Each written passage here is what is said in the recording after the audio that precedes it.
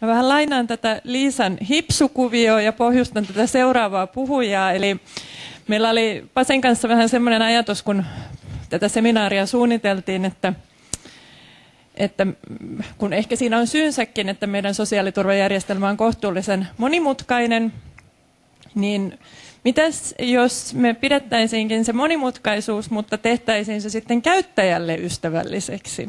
Ja trendikkäiseen tapaan käännyttiin tässä sitten tämmöiseen ajatukseen tekoälystä, että olisiko siitä, siitä apua tai tukea tähän, tähän muutokseen. Ja voin kertoa, että puhujan löytäminen ei ollut aivan yksinkertaista. Kuka tahansa tekoäly tutkija ei ota tällaista haastetta vastaan, mutta hyvä, että löysimme yhden. Ole hyvä. Joo, kiitos, kiitos. Kuuluuko ääni tästä mikrofonista vai ei kuulu? Kuulu. Se on toinen puoli salista. Mä voin yrittää vähän kailottaa kovemmin. Aa, tästä vaihtuu kalvot ilmeisesti. Eli, eli mä oon tosiaan Peter Yle VTTltä teknokraatti. Ilman mitään inhimillisyyttä tuun kertoa, miten teknologia ratkaisee kaikki teidän ongelmat. Ihmisiä ei tarvita ja koneet tekee ihan kaiken.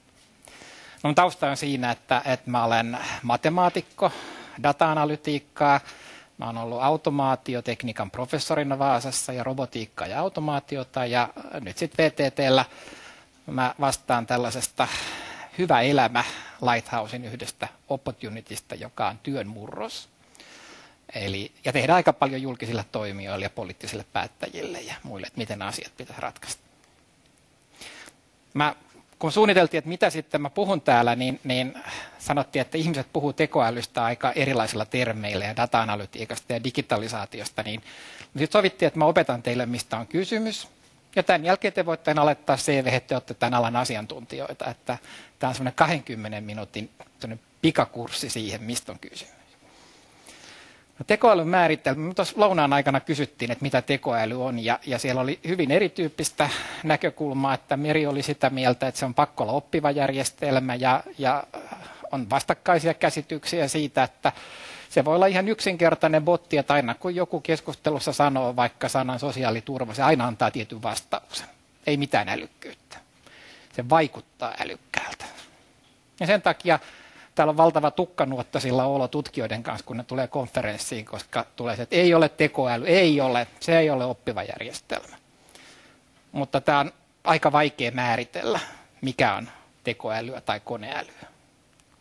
Sen takia aika paljon puhutaan data-analytiikasta. Ja se on vähän semmoinen, siellä on kaikki nämä tekoälymenetelmät, mutta siellä on kaikki muutkin menetelmät. Ja, ja se on ehkä käyttökelpoisempi.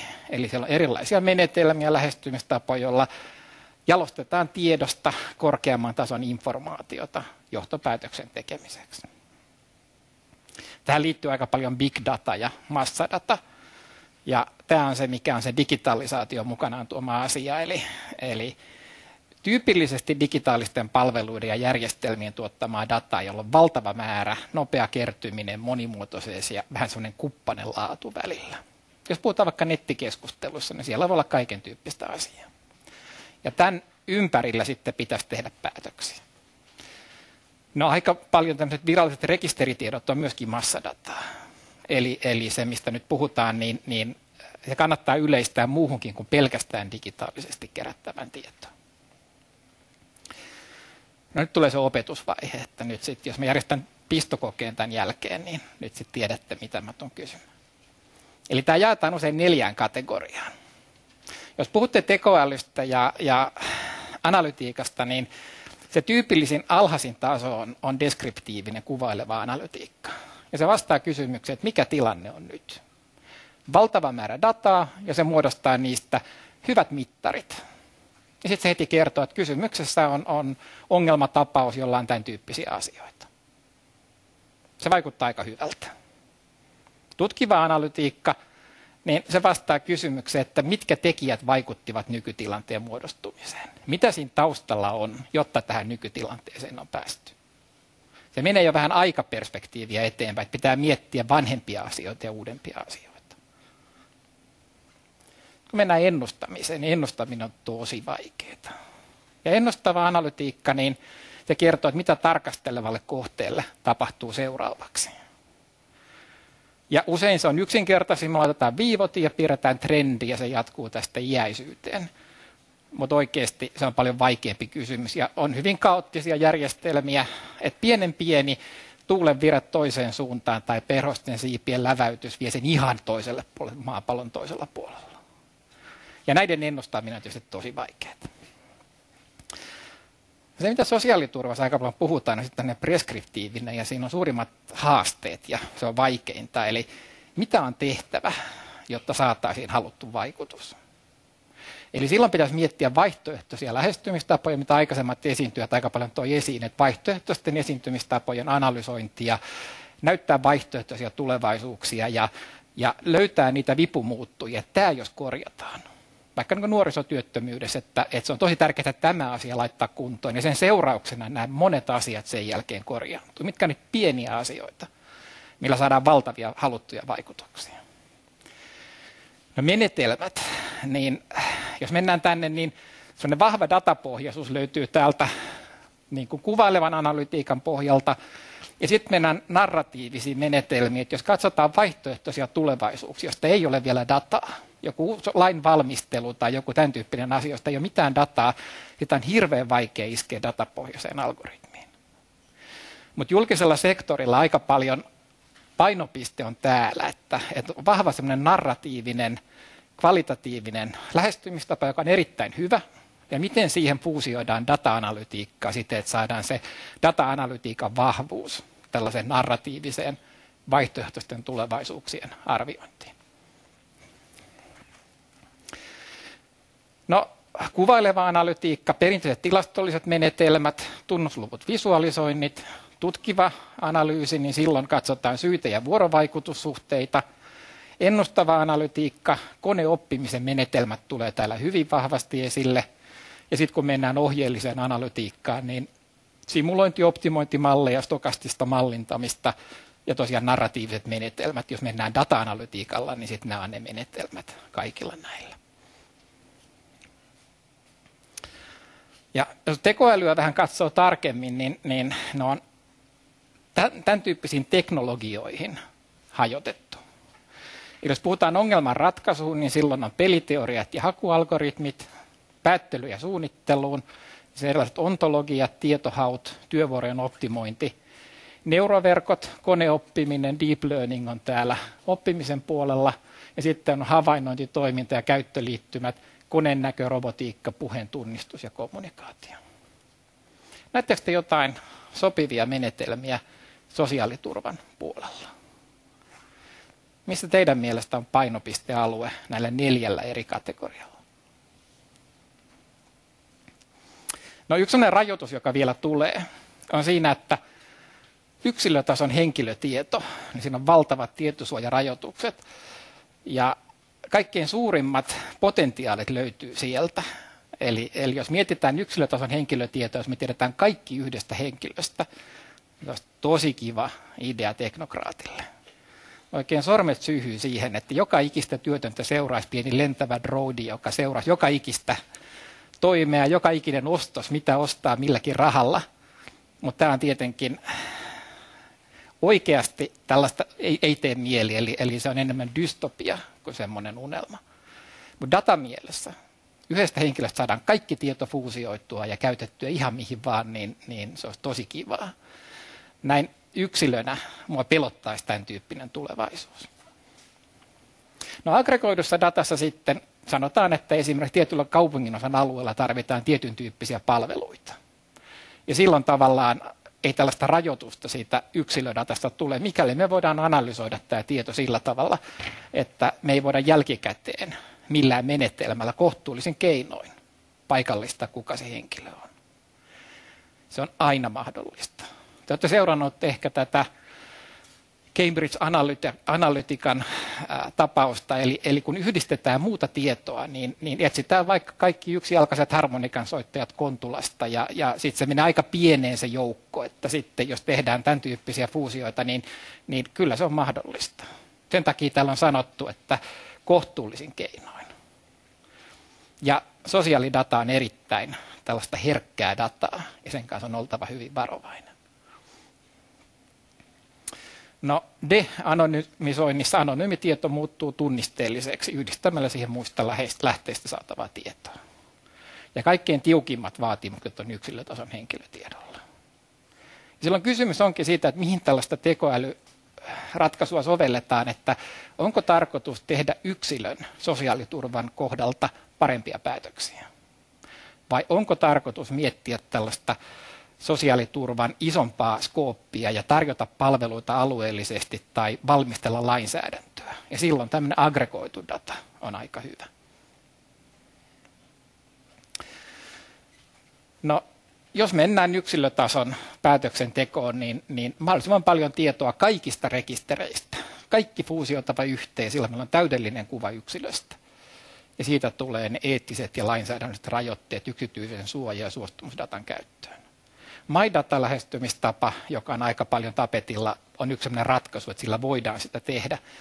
Mutta me ollaan tehty Oulun kaupungin kanssa muun muassa keisejä siitä, että lastensuojelusta ja nuorten syrjäytymisestä, niin he sanoivat, että, että jos on pieni riski, että on huostaanotto esimerkiksi esillä, niin, niin henkilö muuttaa toiselle alueelle ja kieltää, että dataa ei saa käyttää uudella alueella.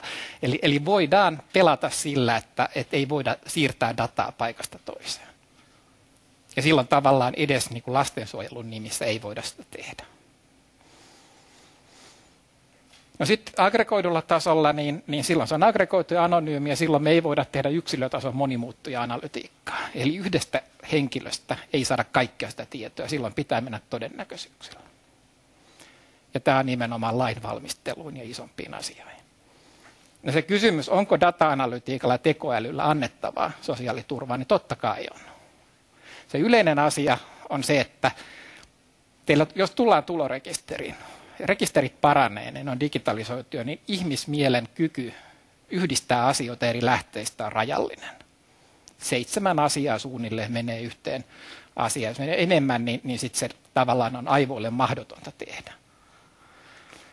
No, se tarkoittaa sitä, että prosessia tehostetaan. Tämä tapahtuu, tämä päättely sekunnin murtoosissa inhimilliset virheet vähenee ja laatu paranee. Ja semmoinen manuaalinen tylsä työ siitä, että yritetään kaivaa kaiken tyyppistä tietoa, niin, niin se katoaa. Ja tämä on raportista, että lähivuosina rutiininomaisten tiedonkäsittelymenetelmien automaatio kasvaa ja, ja eri selvitysten mukaan jopa 40 prosenttia työstä voidaan automaattisesti korvata tekoälyn avulla. Ja tarkoittaa myöskin sosiaalipuolen asioita. Tämä edellyttää nykydatan saattamista eri lähteistä semanttisesti yksikäsitteiseen ja taustatekijöiltään yhdistettävää muotoa. Että jos halutaan, että meillä ei ole vain yhtä rekisteriä, vaan me saataisiin eri rekistereistä tietoa, niin silloin sen pitää olla yhteismitallista. Ja se on aika iso remontti monella alueella, että se ei ole ihan ilmasta.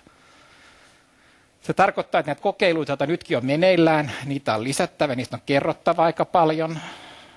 Algoritmeja on kokeiltava – ja sitten semmoinen iso haaste, joka löytyy, kun mekin ollaan tehty aika paljon näitä julkisen sektorin hankkeita, niin, niin tavallaan sieltä tulee sellaista, että totta kai se osaaminen data-analytiikasta ja digitalisaatiosta voi olla vähän suppeampaa äh, julkisella sektorilla. Mutta olennaista olisi myöskin siihen, mitä yksityisellä sektorilla tehdään, että äh, organisaation kaikilla tasoilla – ymmärretään tietyt perusasiat, mitä voidaan tehdä, mitä ei voida tehdä, niin silloin voidaan tehdä strategisia päätöksiä siitä, että lähdetään tähän suuntaan. Jos ylemmältä tasolta puuttuu ymmärrys siitä, niin se on, että isketään nyt tämä algoritmi ja se on siinä. Tehdään joko naurettavan yksinkertaisia asioita tai pyydetään mahdottomia. Että semmoinen tietty vuoropuhelu ja ymmärrys pitäisi olla kaikilla organisaation tasolla. No tämä on, me tehtiin tämmöinen VNTIAS-hanke, joka juuri loppuraportti lähti tuonne ympäristöministeriöön, mutta siinä on yksi tämmöinen tota, malli siitä, minkä tyyppisiä potentiaalisia datalähteitä voidaan tehdä tämän perinteisen rekisteridatan lisäksi. Aika paljon semmoista joukkoistettua dataa, omaa dataa, somekeskustelu ja sensoridataa – ja tämä kaikki on sitten sovitettu esimerkiksi tällaisen sosiaalisen vaikutusten arvioinnin tarkistuslistaan, jonka STM on julkaissut 2016. Ja nyt kysymys, että tehdäänkö tätä yksilötasolla, jolloin siitä tulee tietosuojaongelma, tai aggregoidulla tasolla. Ja silloin tämä saadaan tehdä aika vapaasti. Mutta tämä loppuraportti tulee varmaan päivänä minä hyvänsä, että siinä on 150 kihisevä jännittävää sivua ja vaikka mitä keisejä. Mutta mä näytän teille yhden esimerkin. Mä otan ihan samaa, mitä Tomilla oli nuorten mielenterveys ja syrjäytyminen. Me tutkittiin myöskin vanhuksia, mutta mä nyt näytän tämän yhden alueen. Tämä on semmoinen, joka me tehtiin Oulun kaupungin kanssa ja mietittiin nimenomaan sosiaaliturvan erityyppisten toimenpiteiden vaikutusta ja mitkä ne haasteet olivat. Tämä tehtiin aggregoidulla tasolla. Tämä meni sinne ihan sinne loppupäähän, että mitä pitäisi tehdä tulevaisuudessa, jotta 2050 asiat olisi hyvin. No nuorten mielenterveysongelmat, niin se on iso ongelma. Jos olette avanneet sanomalehden joskus tässä viime aikoina, niin se tulee sieltä vähän joka lehdestä esille. Siellä on maakuntauudistus on yksi ja, ja sitten yksi asia, joka tulee esiin, on, on sote-asiat ja sitten on tämä nuorten syrjäytyminen. Nuoret miehet erityisesti vaarassa. Mä olen nyt kahdessa projektissa, eli EU-MIDAS, jossa on THL myöskin mukana – joka on nimenomaan massadatan ja data-analytiikan yhdistämistä, tällaisen vaikutusten arviointia. Siitä nyt on tullut platformi, joka nyt on juuri EUn reviuattavana. Eli mahdollisimman monista eri lähteistä fuusioidaan dataa yhteen ja tehdään parempia poliittisia julkisen sektorin päätöksiä. Siellä on biopankkidataa, siellä on, on diabeteskeisi ja siellä on tämä mielenterveyskeisi tämä jälkimmäinen, tämä VNTS vaatehanke, niin, niin se on se hanke, jossa sitten tehtiin sitä vaikutusten arviointia siihen. Jos katsoo, minkälaisia tekijöitä pitäisi ottaa huomioon, niin, niin täällä on riskitekijöitä, suojaavia asioita, täällä on sosiaalista tukea, nämä on eri lähteistä, että tämä on säädösvaikutusten arviointi ihmiseen kohdistuvista vaikutusten näkökulmista, ja tämä on sitten ehkäisevä mielenterveystyön toimivia käytäntöjä. On aika pitkä lista. Kulttuurilliset arvot, taloudelliset resurssit, henkilökohtaiset voimavarat, fyysinen terveys. Se ei ole pelkästään tällaista sote-dataa. Siellä on paljon, paljon muuta. Kun me Oulussa sitten tätä tehtiin, niin, niin täällä on tiettyjä indikaattoreita, mitä pitäisi ottaa huomioon. Että jos tekee päätöksiä, Oulussa on aika hyvä järjestelmä, että on liikennevalot, että mitkä on semmoisia punaisia niin kuin huostaanottoja ja mikä on yleisiä niin kuin nuorisotilat ja, ja miten kaikki vaikuttaa kaikkeen. Kun he tekee päätöksiä, mitä pitäisi tehdä, niin kaikki nämä pitäisi ottaa huomioon. Se on aikamoinen muistilista käydä läpi. Päihteiden käyttö, ravintolat, kuppilat, pelaaminen, etninen tausta, liikaa töitä, konkurssit on siellä taustalla – me tehtiin tästä tällainen johdon lentosimulaattori. Eli me tyypillisesti se, mitä mäkin teen, niin mä teen tällaisia havainnollistamisia, miten kaikki vaikuttaa kaikkeen, että et mitkä ne vaikutukset on. Ja tämä on semmoinen, että tehtiin, tehtiin tota, sosiaalipuolen päättäjien kanssa Oulussa tätä. Sitten tämä tehtiin STM kanssa, tehtiin yksi, yksi rundi ja sitten vielä Irlannissa oli tämmöinen EUn päättäjät sosiaaliasioista niin kokoontunut yhteen. Ja tämä validoitiin kaikilla näillä tavoilla, että millä tavalla tätä lähdetään tekemään. Sen takia tämä on englanniksi, kun tämä on se Irlannin versio, mitä mä näytin. Muutamia asioita, mitkä liittyy nuorten syrjäytymiseen ja mielenterveysongelmiin. Me tehtiin vähän yksinkertaistettu malli, se oikeasti oli vähän monimutkaisempi, mutta esimerkiksi tämän tyyppiset asiat täällä perheympäristössä vaikuttaa. Työttömyys, varallisuus, aika tärkeänä tuli tuo vanhempien kyvyt tukea nuoria eri vaiheissa.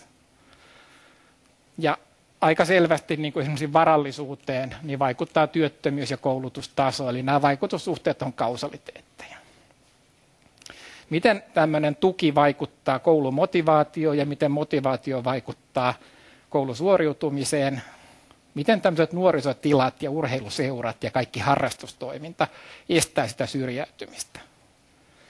Miten tämä vaikuttaa fyysiseen, sosiaaliseen, psykologiseen hyvinvointiin. Ja sitten täällä tulee ne terveysongelmat. Et se, mitä tavallaan tuossa aikaisemmin puhuttiin, oli se, että tämä on medikalisoitu aika paljon. Puhutaan nuorten mielenterveydestä, niin se on vähän, jos tässä vaiheessa vasta tulee mukaan, niin siitä itketään, kun maito on kaatunut. Että se on aika pitkä matka jo tähän näin. Ja sitten vasta sut luokitellaan, että sä tarvit tukea. Ja sitten sanat sen tuen tässä kohtaa. Ja se on aina vaikeampaa, mitä pitemmälle se menee.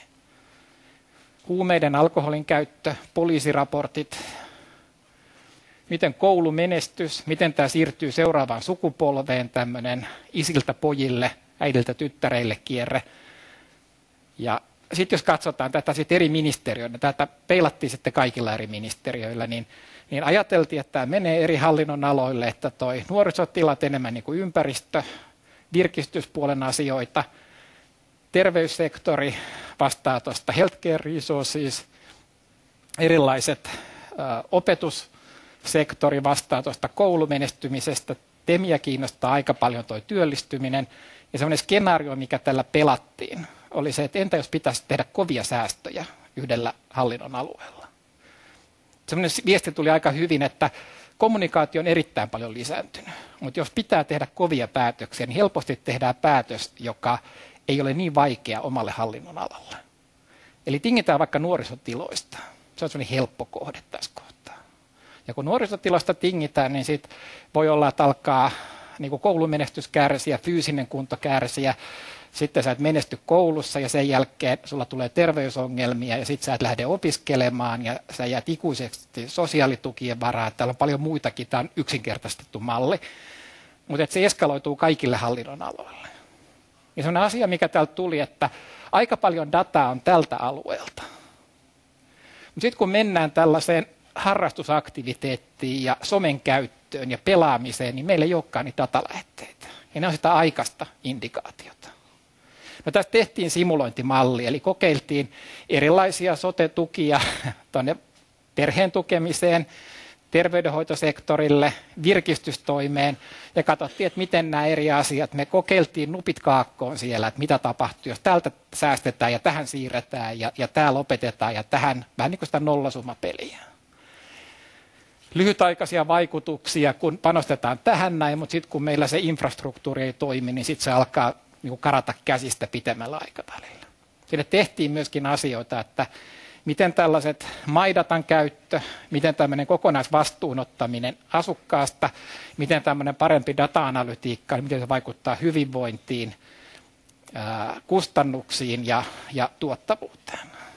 Ja nämä on tavallaan niille eri kaupungille ja ministeriölle mittareita. Tämä tehtiin jonkin verran tämän STMn kuvahankkeen, eli kustannusvaikuttavuusmittariston kanssa. Mutta nyt mulla varmaan aika loppuu, niin mä nyt tähän kokoan tähän asioita, mitä puhuttiin. Eli sellainen asia, asia on se, että data-analytiikalla ja tekoälyllä tulee olemaan merkittävä rooli päätöksenteossa, sekä yksityisellä että julkisella sektorilla. Ja tästä on aika hyviä kansainvälisiä referenssejä, että mihin tähän voidaan mennä. Ja siihen on pakko lähteä reagoimaan, että ne ei olla housut kiintuissa siinä kohtaa, kun, kun tämä menee eteenpäin.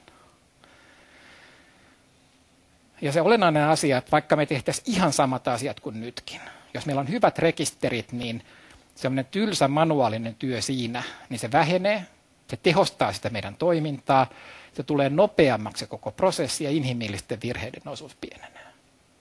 Ja se on oikeasti mahdollisuus, että vaikka me ei mitään tehtäisi näitä korkealentoisia asioita, niin tämä tulee joka tapauksessa. Ja tekoäly menee valtavin harppauksin eteenpäin. Mä just tein yksityiselle sektorille tällaisen mediaekosysteemin tulevaisuuden vision. Ja siinä kun mä haastattelin kaikki nämä mediayhtiöt, he sanoivat, että heillä on erittäin osaavaa henkilökuntaa ollut vaikka media äh, niin kuin ajan brokeroinnissa. Pitää ottaa kaikkia huomioon, erilaisia tapahtumia ja epämääräistä tietoa ja, ja formaalia tietoa ja kustannuksia ja optimoida. Se on ollut erittäin luova, korkea palkattu henkilö. Nyt sitten monet sanoo, että nyt koneet hoitaa sen koko homman. Se asioita kuviteltiin vuosi sitten, että ei voi korvata ihmistä sillä alueella. Nyt kone tekee sen nopeammin ja paremmin. Eli tämä on tavallaan, kun mediasektori on valtavassa vauhdissa, niin tämä tulee kaikille muille aloille. Se on ehkä edelläkävijä, että sen on pakko reagoida. No, sitten rajoituksia ja riskejä, jotka on otettava huomioon. Ja nämä datapoiset menetelmät edellyttää dataa.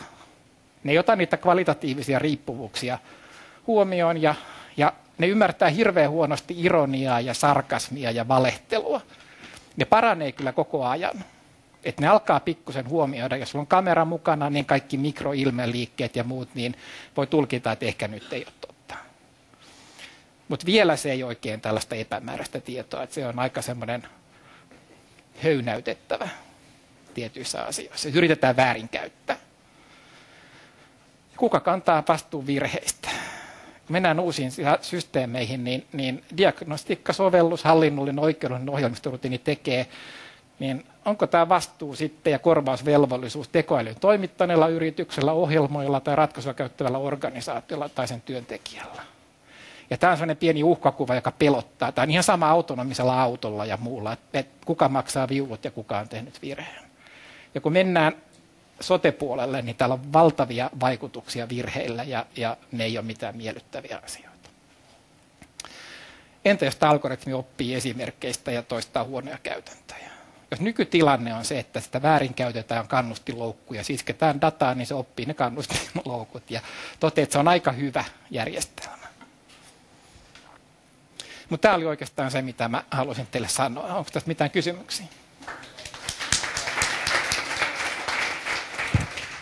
Kiitoksia. Hyvin yleistajuinen esitys. Kiitoksia siitä. Mä olisin voinut esittää integraaleja paljon, mutta mulle sanottiin, että näin ei saa tehdä. No ei nyt ihan niin sanottu, mutta... Kumpaa te uskotte? No Pasilla. Joo, kiitos. Hyvä esitys ja pahoittelut koko ajan äänessä täällä. Mutta, ää, puhut paljon ää, korvaamisesta. Miten tämä tekoäly niin kuin, ihmistyön rinnalle? Ei, mikä se hieno sana sille on. Joo. Se, on se on päätöksen tuen järjestelmä ja se on se ensimmäinen vaihe. Eli, eli mä sanoisin, että tämä ei tarkoitus ole korvata ihmistä. Eli, eli tuo viimeinen riskikohta, joka mä esitin, että kuka ottaa vastuun, niin mun mielestä uskottava reitti on sille, että se on vähän niin kuin takapiru. Eli ihmiset edelleen tekee sen älykkään toiminnan ja, ja tulkitsee sen vielä pitkän aikaa. Mutta, mutta tietyllä tavalla äh, mä näen sitä, että monet, monet asiat tuolla yksityisellä sektorilla, niin, niin se on vähentänyt sitä työvoimaa ja se on korvannut kyllä, että ihmisiä on vähemmän. Lähinnä minulle tuli mieleen esimerkiksi terveydenhuollon diagnostiikassa, että voiko kantajärjestelmään tavallaan olla tekoälyyhteydessä, joka neuvoo kokeneena kollegana, mitä muut on tällaisessa tapauksessa tehnyt diagnoosi. Joo, mä tuleeko, ollut... tuleeko tietosuoja tämmöisessä vasta? No se riippuu siitä, kuinka rajallinen tämä data on. Siis jos yhdistetään dataa eri lähteistä, niin silloin totta kai se aina tulee silloin.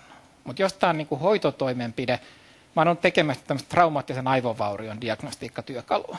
Ja silloin idea on siinä, että jos olet vaikka hiihto, hiihtokeskuksessa jossain kaukana korvessa ja, ja illalla ajat hiihdet päin puuta, ja sitten sulla on kokematon kandi siellä, niin pitäisi tehdä päätös, että avataanko kallo, että aivot pääsee turpoamaan vai ei, niin, niin se on vähän semmoinen, että lykätään pitemmälle. Ja, ja siinä kohtaa semmoinen diagnoosi äh, aputyökalu, jota mekin ollaan tehty BS-verkoilla, niin se on tosi hyvä. Ja kertoo, että nämä tunnusmerkit ja katso sitä ja sitä ja sitä, jos nämä näyttää tältä, niin silloin nopeasti kutsu helikopteria ja lähetä keskussairaalaan. Jos nämä merkit ei toteudu, niin silloin ollaan turvallisella pohjalla. Silloin se on niin kuin hoitotoimenpide aika tarkasti.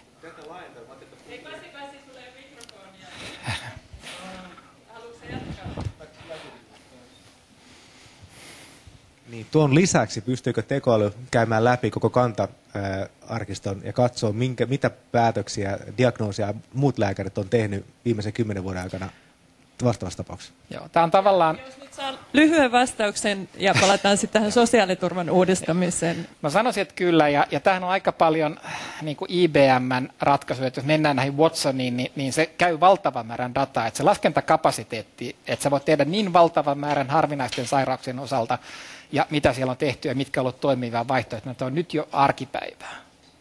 Ja tämä on ihan sama sitten, jos mennään sosiaalipuolelle. Niin jos meillä on dataa paljon ja todetaan, että tälle on tehty tämän tyyppisiä asioita ja nämä on toiminut, sitten se oppii se järjestelmä, että nämä on aika hyviä asioita, että se on, se on oikeasti tämmöinen vaihtoehto. Varsinkin etsitään hyvin, hyvin epätavallisia kombinaatioita. Ihminen, joka on, jolla on lintu ja sen jälkeen syö hampurilaisia, niin minkä tyyppinen sosiaaliturva on tälle? Tämä heitto. Mikä tahansa data voi olla vaikuttavaa. Ja silloin löydetään niitä kombinaatioita. Joo, kiitos. Sä sanoit, että tämä MyDatan kannalta ja yksilötason niin kuin datan käyttämisen kannalta ongelma on se, että ihmiset ei luota järjestelmään tai anna, halua antaa tietojaan. Ja niin kuin ensimmäinen ajatus on se, että nykypäivänä ihmiset antaa näille isoille firmoille tietojaan, että ne saa heiltä jotain palveluita Joo. Facebookille tai Googlelle tai vastaaville. Ja miksi yhtä lailla niin kuin kannusti voidaan luoda myös varmasti niin kuin julkisten palveluiden saamiseksi tai etuuksien helpommaksi saamiseksi. Että kun annat meille niin kuin datasi käyttöön, niin saat etuuspäätöksesi nopeammin ja helpommin, eikä tarvitse paperilla tu- to- toimittaa tietoja. Toisaalta sehän on ihan aito ongelma, että se luottamus ihmisillä ei ole tätä järjestelmää kohtaan, varsinkaan niillä kaikista heikoimmassa asemissa olevilla niin kuin kauhean vahva, niin silloin ei ehkä ratkaisu voi olla se, että kun ei meihin kerran luoteta, niin ei tehdä tätä, vaan miettiä, että miten sitä luottamusta parannetaan ja miten ne palvelut on tarkoituksenmukaisempia, miten näitä karensseja ja sanktioita käytetään, mihin tota, tässä viitattiin, ja mi- miten järjestelmä luottaa ihmiseen, niin ihmisten on helpompi luottaa järjestelmään. Joo. No voin kertoa tuosta, että ihmisillä on aika suuri luottamus Suomessa tähän julkiseen toimijaan, verrattuna kaikkiin muihin maihin. Eli Suomi Fi-portaalilla oli tämmöinen kokeilu viime syksynä, jossa tota 250 kansalaisten edustajaa, etnisiä taustaryhmiä ja eri ikä, ikä ja eri asuinpaikkaa. Sitä testattiin Suomi-portaalia. Monet teistä varmaan tuntee tämän tutkimuksen. Siinä oli yksi tämmöinen kysymys, joka kysyi tätä MyData-tyyppistä asiaa, että olisitko valmis antamaan kaiken datan, no questions asked, julkiselle toimijalle, niin kuin Suomi-portaalille.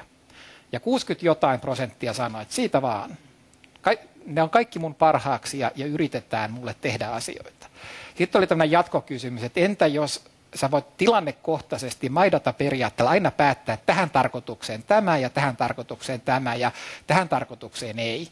Sitten se meni 80 jotain prosenttia, eli, eli hyvin suuri luottamus suomi, suomalaisilla on. Mutta tämä huomataan, mä tein aikanaan tuonne tai viime vuonna mehiläiselle tämmöisen työkyvyn ylläpidon ja, ja työterveyden vaikuttavuusarvioinnin. Ja sitä tutkittiin tavallaan data-analytiikalla eri yrityksiä, jotka on ottanut näitä heidän digitaalisia työkyvyn ylläpidon työkaluja käyttöön. Ja huomattiin, että tietyissä paikoissa, mitkä on niin kuin enemmän niin kuin kantaväestö suomalaisia, 99,9 prosenttia työntekijöistä antoi kaikki tiedot niin kuin työterveyden käyttöön. Niillä firmoilla, joissa on valtava määrä joka kuukausi tai joka vuosi YT-neuvottelut käynnissä, niin epäiltiin, että jos mä annan nämä datat tähän, niin sitten mä löydän itseni tältä listalta, että, että, että mulla, on, mulla on työkyvyn kanssa ongelmia, niin musta on helppo päästä eroon.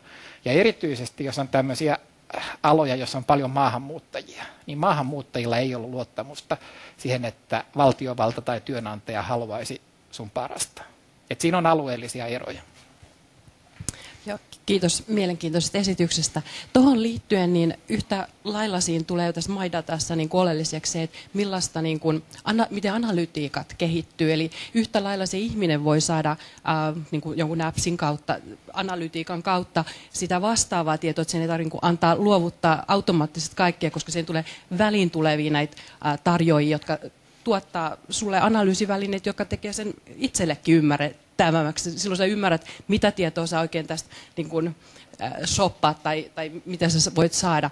Niin, tähän liittyen, äh, mitä mieltä sä oot tai uskotko siihen, että kun esimerkiksi tulorekisterissäkin oli äh, yksi mahdollisuus oli se, että ne tiedot voisi tulla automaattisesti esimerkiksi sun äh, tämmöisten so- sovellusten kautta sun esimerkiksi johonkin äh, softiin tai appseihin, jolloin sä voisit saada semmoista analytiikkaa sun esimerkiksi tilanteestasi. Joo. No nyt se ei ole ihan valmistunut niin pitkälle, mutta tavallaan niin kuin, tämmöisille äh, yksilöllisille sopimuksille tai, tai tämmöisillä profiloineilla, käyttäjäprofiloineilla, niin kuin Netflixissäkin on, tai jollain muilla tavoin sitä voitaisiin niin myös ratkoa niin, että ihminen saisi siitä enemmän irti.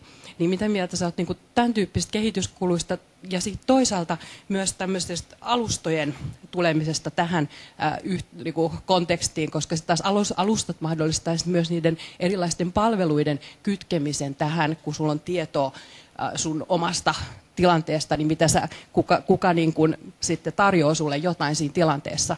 Ja sitten taas ne palvelun tarjoajat ehkä tarvii myös sulta tietoa. Joo. Nämä on sellaisia asioita, tämä on juuri se mitä sanoit, se hyöty, joka tulee tästä mainita lähestymistavasta, minkä säkin nostit esille. Jos siitä saa hyötyä, niin sun kannattaa se antaa. Sen takia kaikki ihmiset luovuttaa Facebookille kaikki tietonsa niin kuin näin. Sä saat siitä heti välitöntä hyötyä. Ja ne on ihan sama MyDatalla, että jos on musta aukko, johon se katoaa ja sä et niin näe sitä hyötyä, niin sä oot astetta, sulla ei ainakaan kauheita intoa lähteä käyttämään sitä, mutta pitkin hampain lähteä tekemään. Tai sitten on nämä keppityyppiset asiat, että nämä tulee nopeammin nämä päätökset. Ja sitten se vähän uhkaillaan, että se tulee tosi hitaasti, jos, jos niin kuin et anna tätä. Ei sanota näin, Mutta mut tämä on semmoinen, keppi ja porkkana on ne, on ne keinot, mitä sanoit. Toi alustatyyppinen ratkaisu, niin, niin se, on, se on vahva tulevaisuuden alue. Eli me ollaan tekemässä Espoon kaupungille yhtä alustaa. Mä oon tekemässä tällaista innovaatioalusta yhteen projektiin ja sitten on tämmöinen täsmäterveydenhoidon ja genetiikan ja biopankkien alusta, sellainen hanke, joka on meneillään. Ja siinä on sellainen riski, että, että ne alustat on, on, on kolme tyyppisiä alustoja. On tämmöinen valtava viidakko, jossa on miljoona erilaista pientä alustaa, kaikki on luotu omaan pieneen tarkoitukseen. Sä et saa kriittistä massaa millään aikaiseksi ja silloin ne hyöty, joka siitä tulee, on vähän rajallinen ja data ei saada fuusioitua. Sitten on tämmöinen monopoli, joka on joko niin kuin Microsoft tai Facebook, ja sitten se, voi, se on usein julkinen toimija myöskin. Julkinen toimija, jonka tehtävänä on vaikka avointa dataa tuottaa eteenpäin. Silloin sanotaan, että no kaikki pakko tulla tähän alustaan, sulla ei ole mitään muuta vaihtoehtoa. Se on niin kuin ihan jees, mutta silloin siinä on semmoinen, että on riski, että jos sanotaan lain nimestä, että on pakko olla digitaalisessa muodossa avointa dataa, ihmiset skannaa valtavan määrän dokumentteja ja laittaa ne skannatut pdf sinne, että se on lain mukaan, se on sähköisessä muodossa. Et siinä ei ole sellaista insentiiviä parantaa sitä tai tuoda lisäarvoa sille loppukäyttäjälle. Tämä on monen avoimin portaalien ongelma. Ja sitten on tämmöinen kultainen keskitie, jos on se, että sulla olisi data tietyllä tavalla äh, niin kuin strukturoitua, että sä voit ajaa sitä eri taustamuuttujilla 20- ja 40-vuotiaat tai 50- ja 30, ei ole etukäteen päätetty tätä. Ja sen jälkeen sulla on vähän niin kuin apsityyppisiä asioita, että eri toimijat voi laittaa sen datan päälle niin kuin analyysimenetelmiä, että näillä saa tämän tyyppisen asian, ne vähän kilpailee keskenään ja mikä tuo lisäarvoa eniten, niin, niin se lähtee menestymään, mutta se data voidaan sitten käyttää kaikilla eri lähestymistavoilla. Joo. Tota, mun tekisi mieli kysyä vähän broken datasta, mutta mä en nyt mene siihen. Mä luulen, että se täytyy sitten, kun nämä järjestelmät kehittyvät vähän eteenpäin, niin ehkä sitten keskustella siitä asiasta. Mutta mä sellaisen kysymyksen nyt kuitenkin tässä kohden vielä teen, että miten sä näet, sitä osin nämä alustat tähän jo vastaskin, tai tämä kysymys, mutta me on Blomgrenin Sannan kanssa tuossa aikuissosiaalityöstä kysyttiin sosiaalityöntekijöiden ajan käytöstä ja havaittiin tämmöinen, että tai sieltä vastattiin, että no 40 prosenttia menee yksilötyöhön ja 20 prosenttia kirjaamiseen ja 20 prosenttia suunnilleen päätöksen tekemiseen. Ja joku näissä avokysymyksissä sitten totesikin, että, että olisihan se kiva tehdä niitä, nähdä niitä asiakkaita ja puhua niiden asiakkaiden kanssa vähän enemmän, mutta kun tähän kirjaamiseen menee ihan todella, todella paljon aikaa. Ja se nyt ei ehkä ole mikään kauhean salaisuus, että tuolla sosiaalihuollossa tietojärjestelmät eivät ole mitenkään erityisen helppokäyttöisiä, käteviä tai, tai täm, niin, eli miten paljon tämmöinen, koska tämähän niin kuin nähdäkseni vaikuttaa siihen datan luotettavuuteen, on se sitten niin, kuin niin että yksilö itse sinne ilmoittaa dataa tai sitten niin, että, että tavallaan työn työntekijä tekee sitten näitä merkintöjä, niin miten tämmöinen käytettävyys vaikuttaa siihen datan luotettavuuteen? Todella paljon, jos se ei ole automaattisesti kerättyä. automaattisesti kerätty, niin kone ei valita, jos se on tylsää työtä. Se on niin kuin ihan, kone sopii siihen hyvin. Jos se on henkilökohtaisesti keskusteluja muiden pohjalta, niin, niin se on tylsää työtä sen, sen läpikäyntiä näiden kirjaan. Mikä on omia vaikutelmia, niin, niin se on vähän nakki, joka pitää tehdä. Tässäkin voi käyttää, äh, se käytettävyys on olennainen asia, että, että jos se on tosi tuskanen ja siinä on aikajana ja sun pitää syöttää tämä kolmes minuutista tai se katoo kaikki tieto, niin, niin se on tosi huono asia.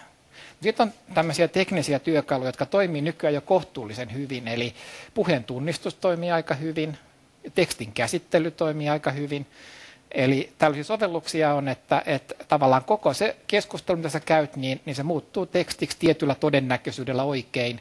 Ja sitten sieltä analysoidaan ne tietyt maagiset sanat, jotka nousee ylös ja se suodattaa, että nämä tuli keskustelussa esiin. Ja se esittää sille, joka kirjaa, että onko nämä ne tulkinnat, että ne nousi sieltä tekstistä automaattisesti joka helpottaa sitä, sitä syöttämistä. Ja sä voit sanoa, että no tässä kohtaa se oli vähän ironinen kommentti, ettei se oikeasti tarkoittanut, niin sitten sä voit tehdä tämmöisen suodatuksen niin, niin tämä on ihan mahdollista. Mutta tuo käytettävyys on olennaista, että, että se pitää olla tosi helppokäyttöinen ja, ja tämmöinen niin kuin mobiilit ratkaisut, että olit sä missä vaan, niin, niin sä voit sitä tehdä heti kun tulee mieleen.